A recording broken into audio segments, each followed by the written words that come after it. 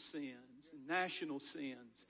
And we humbly ask you to bless our nation and to bless our President, Donald Trump. Lord, I thank you that America didn't need a preacher in the Oval Office. Who's in authority. Father, let your kingdom come.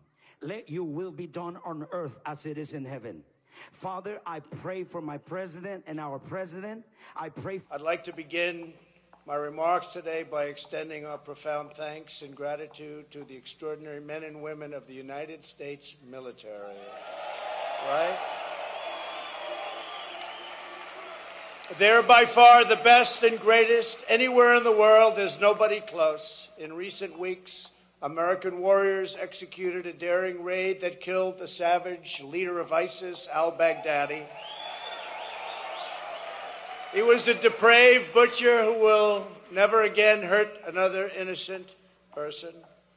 Last night, at my direction, the United States military executed a flawless strike that terminated the terrorist ringleader responsible for gravely wounding and murdering thousands and thousands of people and hundreds and hundreds, at least, of Americans.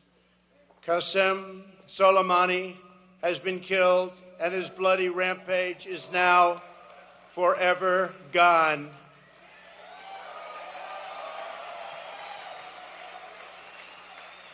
He was plotting attacks against Americans, but now we've ensured that his atrocities have been stopped for good. They are stopped for good. Uh, I don't know if you know what was happening, but he was planning a very major attack, and we got him.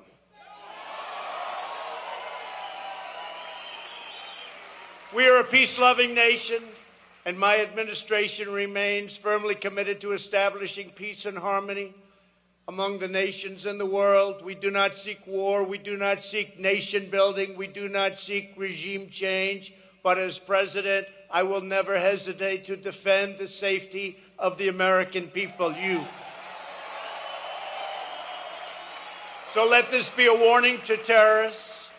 If you value your own life, you will not threaten the lives of our citizens.